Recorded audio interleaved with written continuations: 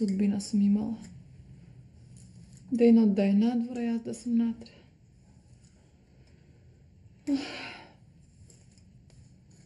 Kakva sudbina. Pticite da si pet, a ja s molkom da si sedam.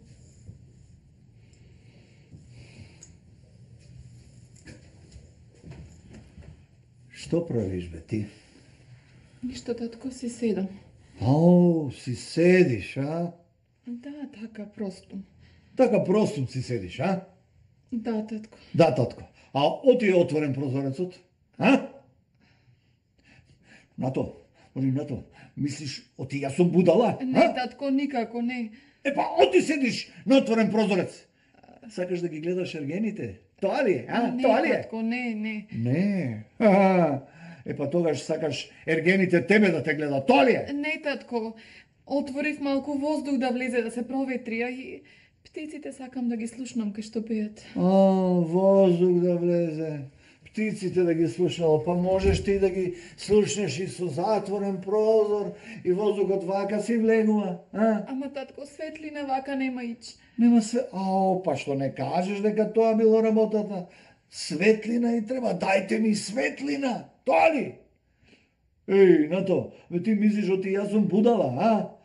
А? Седиш на прозор за да ги гледаш ергените. Тоа ли сакаш? Да ми се смее селото, да ме озборуваат. Керката на Венцо седи на прозорец и праќа и шарети на ергени. Тоа ли? Сакаш да ми се смеат? Не, татко. Не.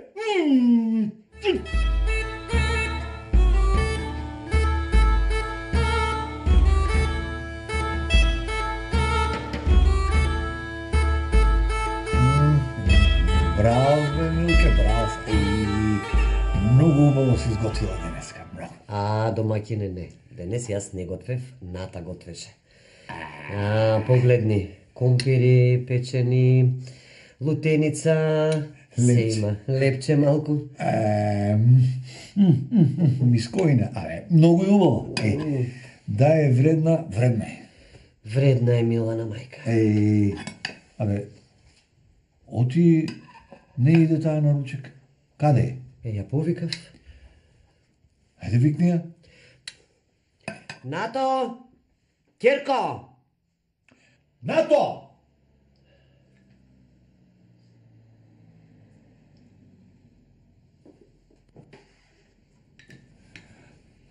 Пак вода ја си се напикала.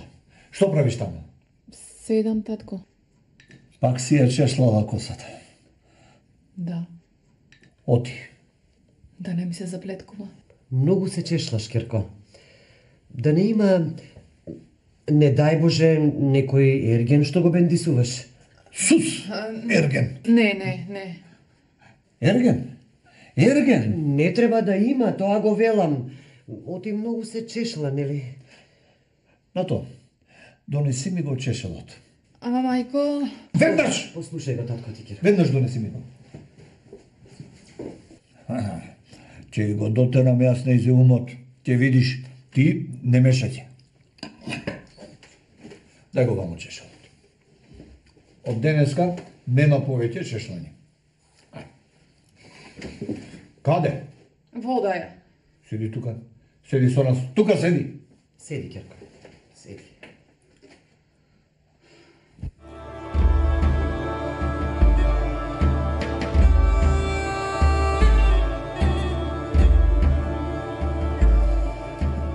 И со ум, Кирко. Добро, мајко. Не добро. Не добро. Немој да си помислила да излегуваш надвор дур сме на пазар. Добро, татко. И слушај, Кирко. Немој да се покажуваш на прозорот, да излегуваш на прозор. Никако. Сакаш цело село да знае дека е, Керка ми седи на прозор, а? А зошто седи на прозор? За да гледа Ергени, така? Не, не, не, татко, никако. А, никако. Слушај, ако само излезеш од одајава, јас ке знам и тогаш мисли му е. Да, да, да. Еве, ке сам едно влакно на вратата и ако си отворила, јас ке знам дека си отварала вратата, е тогаш мисли му е. Ќе игра стапот, така да знаеш, стапот ќе игра. Добро, домаќине, ајде, ајде да, да појдеме, додека стасаме ние, пазарджиите ќе заминат. Па ќе заминат, Ке заминат кога не можеме да ја прибереме керкани. Ајде, ајде. Гледај вам. Е, еве го влакно. Гледаш? Е, сега ќе го ставам на кваката. И ако случајно си отворила вратата, ха-ха, има да платиш. Е.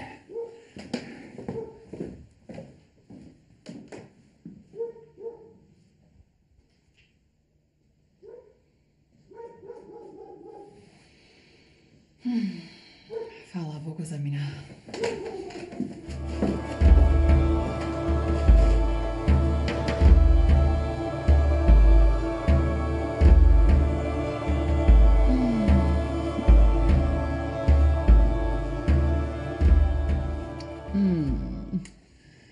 Колку бил убав животов. Сонце да си гледаш, велден да си гледаш, ptici, da si slušaš, vince, da si piješ.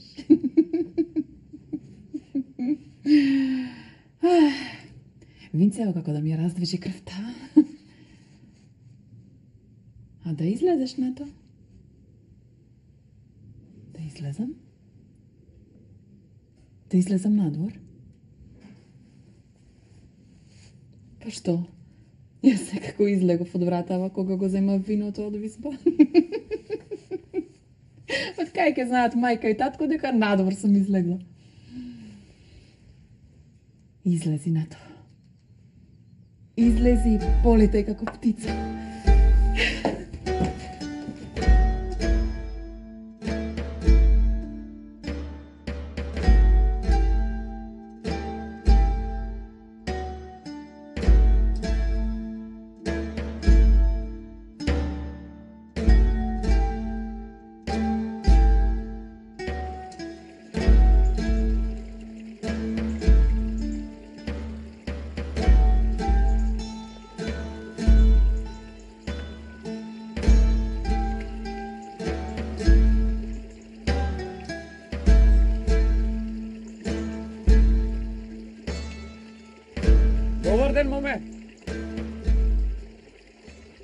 Ден, не реков? Добар ден. Е, е, застани каде? Сиреј не продавам јас, бело, козио, убаво. Сакаш? Не.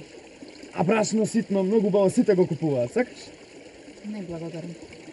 А, да те прашам нешто, може? Ајде. Каде живееш? Оти. Оти сакам да дојдам да те побарам од татко ти да се сториш моја невеста. Не, не, тоа никако. Те молам, немој, немој таква работа, никако.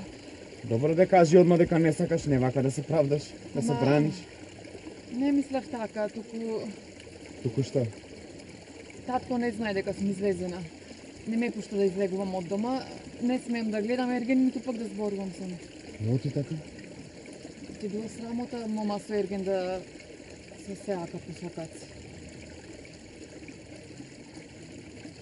Моме да те прашам. Ако те дава татко ти за мене, сакаш ли да се сториш моја невеста ти? Моме!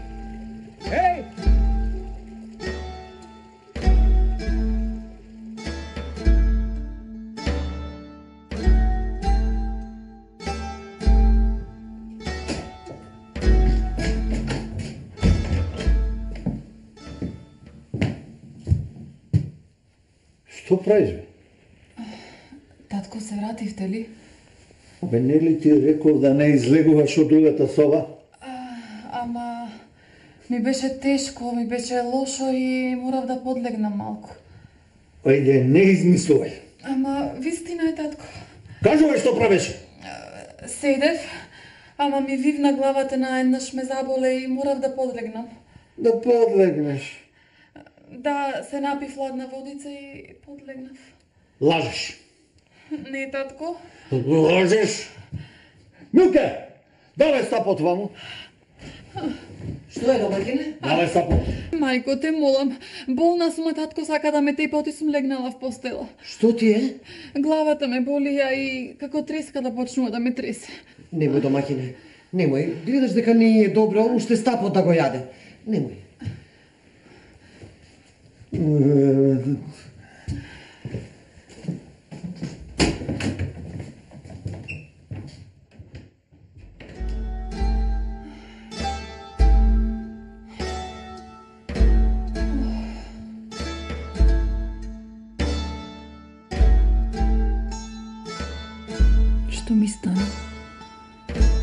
Можам ергенот од главата да го извадам.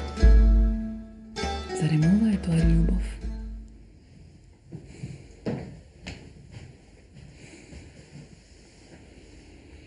Како си, Кирко? Добра сум, мајко. Главата малку ме боли. Да го отворам прозорецот? Доцна е сега. Не можам да гледам низ прозорец, од креветов не можам да станам. Да те фати малку воздух, бре, Кирко. Е, ајде, отвори го. Ајде.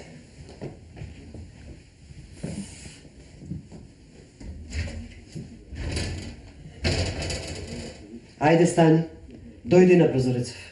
Ке се лути татко. Нема штом си болна, ајде, ајде. Ајде.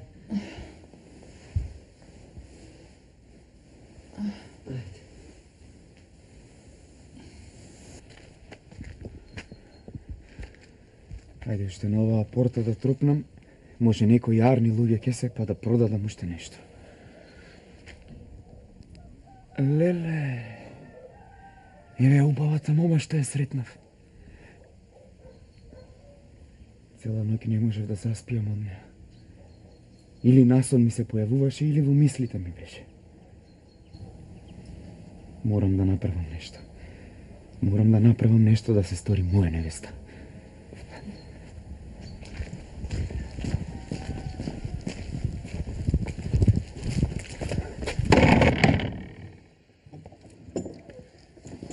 Добар ден. Добар ден. Вчера бев на пазар, се испазарив, ништо не купувам. Не дојдов да продавам чорбаджио. Ами, оти си дојден, а? А зошто ја носиш корпава ако не, не продаваш? За нешто друго дојдов, да? А, зашто? Ми се сони еден сон. Е, слушай, каков сон? Ајде, нема време да слушам такви глупости. Ајде, не ми го арчи умот со Те молам, те молам, послушај ме, добар човеку. Е, слушај, јас ум од, од, од, од удрен човек во главата не примам. Ама те молам, послушај ме и ке си одам. Добро, ајде, кажуве што имаш да кажеш. Чорбаджио, насон видов оти мојата невеста живее овде во куќава.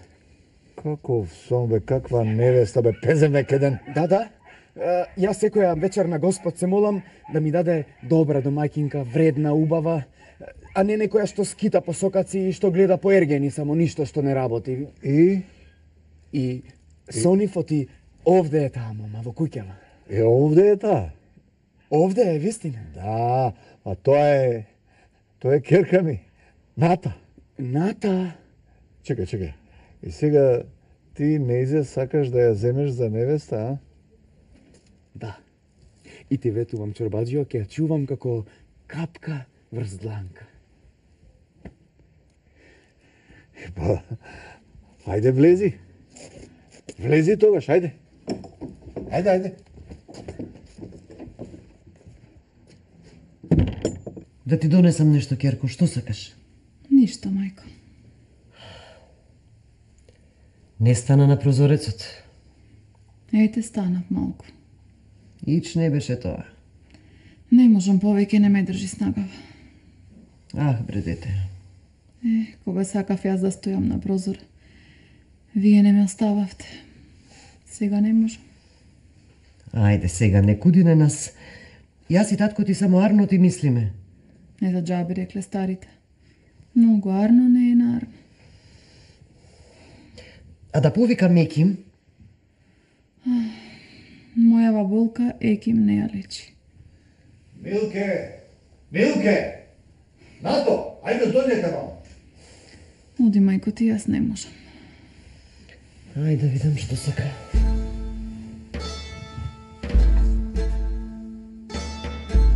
На здравје. На здравје. Што е што си се развикал? Добар ден. О, добар ден. А, кој ни е гостинов домаќине? Ова е жено нашиот иден зет. Што зборуваш? А, момчево е Арно е, и бара мома домаќинка за жена, а таква е нашата ната. Гледаше дека се исплатеше тоа што ја држевме затворена, е? Е, е, е. Не знам баш домаќине. Што? Тебе никој не те прашува ништо, а и незе никој не ја прашува. Јас, јас се прашувам во оваа куќа. Јас решив, овој ќе ни биде зет. Добро, ама треба Ната да ја прашаме дали ќе се согласи. Ата дали ќе се согласи? Што има таа да се согласува? А? Што има таа да се согласува? Е, јас решив. А, а види, тој не не осудува затоа што ние ја држевме затворена. Напротив, напротив, баш затоа сака да ја земе. Е, Ама таа е болна. Болна. Што е? не, не, не, болна. Како, како болна? Болна. А, е, болна. Сега, сега ќе појдам да ја викнам. Сега, а, а, болна.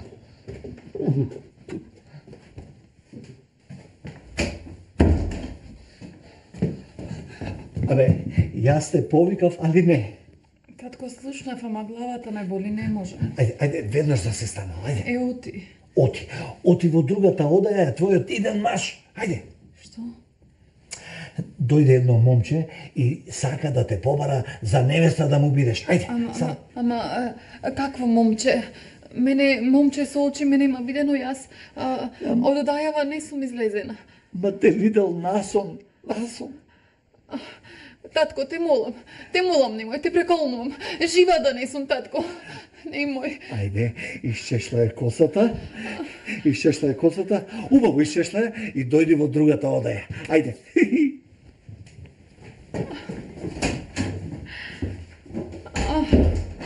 Леле. Од лошото по лошо имало.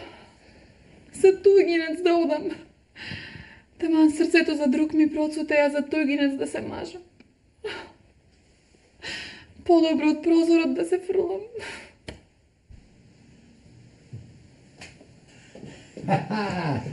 Е, сега ќе дојде на те. Сега. А рече ли оти ќе дојде? Да, да, да. Уште се чешла. е...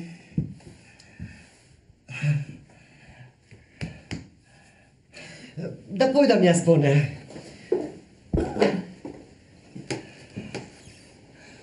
Отимари не си шешлана. Хе, О, ова ли е момата што е Сони, а? Види, која ќе се ишешла, да видиш колку е лична. Ех, Таа е, таа е.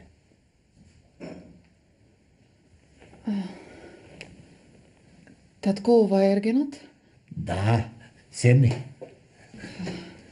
Ам, И... Велиш, насам не видел? Да, да, да, насум. ам, ама Ната сега е болна. Да дојдеш ти некој друг ден. Не, не. Не, мајко, оздравев. А од што оздравената? Од тебе. Те видов и веднаш ми стана подобро. Вистина ли е, Крко? Да, татко. Чекај, значи и тебе ти се бендисува овој ерген? Да, татко. Епа, да наздравиме. Ајде. А, ајде, да наздравиме. А, да сипам и за Ната. Да, да, таа не е веќе мома, таа е жена. До сега, винце нема лизнато. Само вода пиеш и тоа ладна вода. И си седеше горе о, одајата, си работеше, си ткаеше, си везеше. На момента. Е, Ајде на здравје. Ајде на здравје. И и да ја чуваш затворена за да стане вистинска домаќинка. Дива? Колку што е вистина дека насон ја видов, толку и затворена ќе ја чувам. Ајде. Ајде, на здравје. И ве зете, е, ваков зет бараш. Еј.